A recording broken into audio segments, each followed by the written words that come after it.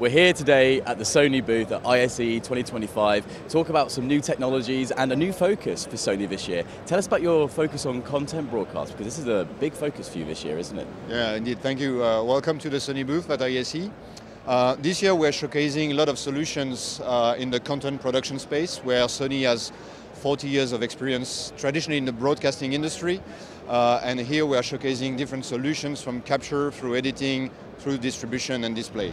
And what offerings have you got for us at the show this year? What's new to see?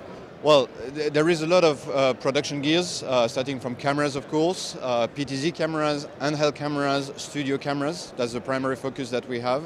And then we have different solutions to uh, both the file-based workflow and the live production workflows to do live editing through vision mixes, content management in the cloud, and then uh, distribution of those contents into multiple platforms. And this is a very fast evolving market. What trends are you currently seeing and where do you think the future is going to go in this particular area of the market? Yeah, well, the future is already there through uh, what we call emerging technologies, but they're actually already uh, implemented. AI, for example, which is a very big buzzword uh, into any industry, I think, nowadays, uh, is there in media. So for example, we have embedded AI technology into our PTZ cameras, so it enabled the recognition of people, the tracking, uh, and then you can do an auto framing. So here we are also combining with the knowledge of Sony into the production space, how to frame people correctly with the most natural look.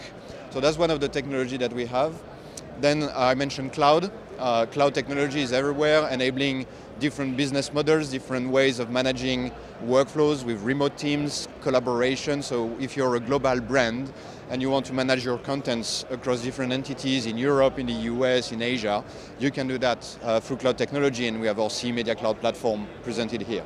And it's a very interesting time to be in this market and it's great to see that Sony is still at the forefront of that. Norbert, thank you so much for your time today. My pleasure. Thanks and visit us on the booth.